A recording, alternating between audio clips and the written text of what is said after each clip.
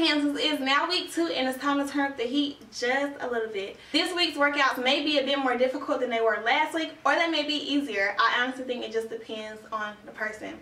Regardless of if it's easier or more difficult, I expect you to give it your all. If you want to start the challenge, you can watch the previous week's video so that you can get week one of the 30 Day Fitness Challenge and all the workouts are in the description box below. For my people that have made it to week two, congratulations. This week's message is to stay consistent. I cannot stress how important it is to stay consistent because your habits show in your results. So I believe there are only two types of people.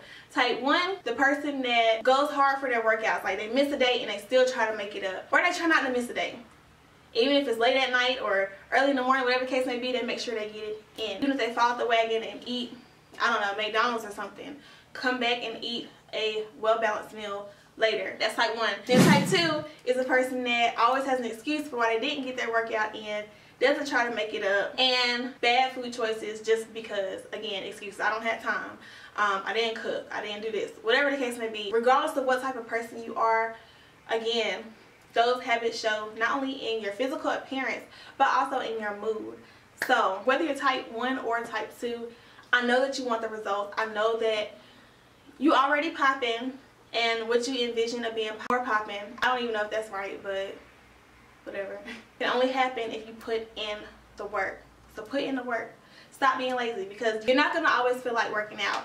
I don't always feel like working out, but I put on my workout clothes anyway and I do my workout. And by the end of that workout, I am so glad that I did it. I have yet to meet a person that wasn't glad that they did the workout anyway when they didn't feel like doing it. So I'm challenging you. Don't be lazy. Get your butt up. With that being said, this week's workouts are in the description box below. Make sure that you comment done under each workout that you complete because it not only motivates and inspires others to keep going, but it also lets me know that you got your sweat in for today. And as I mentioned in the previous video, I may have something special for my dedicated folks.